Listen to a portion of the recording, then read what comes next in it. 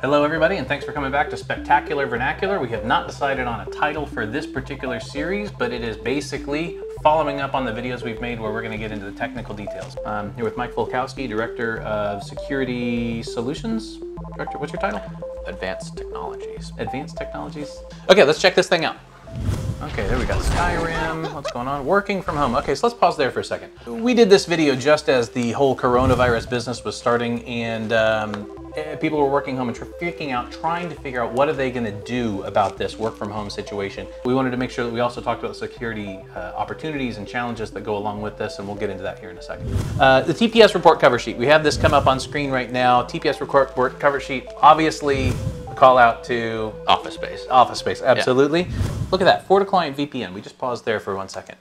So let's talk about VPNs. What's it stand for? Sure, uh, Virtual Private Network. You're taking a normal network, mm-hmm. um, you know, and you're overlaying a, a private network. VPNs at their at their core are you know, basically creating tunnels. So you reach over ransomware file, ransomware file. So what is that indicating? So let's talk about the intention of you know this particular ransomware or ransomware in general.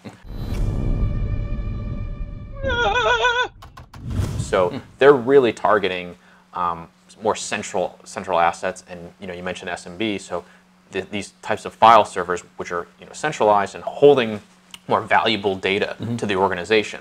Um, so with with scripting and with you know simple code, um, you can check the operating system. You can check what, what type of services are running on the on the machine. That's right. And there are also uh, errors that can be done. For example, if you have self-encrypting drives, that's amazing because if somebody gets a hold of the drive out of your self-encrypted drive laptop or something, there's no way they can get in. However, there are attacks wherein if those drives have been initialized improperly, that can become an instantaneous encryption. Very nice yoga pose there. Is that um, is that down dog or what? Uh, it's my attempt at a down dog. Attempted down, down yeah. dog. Okay, great. Uh, for Vector USA, I'm Scott Bly, Customer Solutions Architect. We're here to help you with anything you need. Uh, be sure to check out Vector USA. We'll have links in the video below. Thanks for sticking around. Namaste.